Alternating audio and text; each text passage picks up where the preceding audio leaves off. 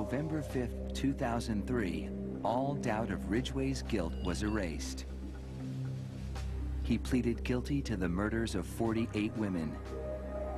He'd made a deal to cooperate with the prosecution to provide more information on his victims and the whereabouts of their remains. In doing so, he avoided a trial and possible death penalty. Mr. Ridgway, how do you plead to the charge of aggravated murder in the first degree as charged in count one for the death of Wendy Lee Coffield? Guilty. How do you plead to the charge of aggravated murder in the first degree as charged in count two? Guilty. Guilty. Guilty. It's like he didn't have any remorse at all for what he had done. You know, he'd killed so many people, he didn't remember who they were, what they looked like. I just couldn't believe that somebody could kill all those people and not remember them. Neither could the angry relatives of his victims, who were invited to speak in court when Ridgway was sentenced to life without parole on December 18, 2003.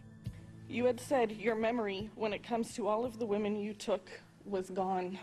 Our memory is not. In your words, you said that they didn't mean anything to you, but she meant everything to us. She was a mother, she was a wife, she was a sister, and we miss her. Gary Ridgway sat there stone-faced as victims' relatives damned him and mocked him. He's an animal. I wish for him to have a long, suffering, cruel death. He's gonna go to hell, and that's where he belongs. But then the emotionless facade finally cracked when the father of one of his victims appeared to surprise him with a dose of human kindness.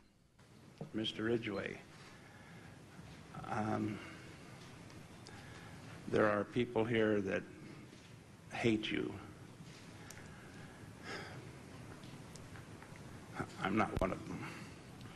You've, you've made it difficult to live up to what I believe, and that is what God says to do, and that's to forgive. You are forgiven, sir. Those tears and a statement he made to the court later that day were as close to showing real remorse as Gary Ridgway had ever come.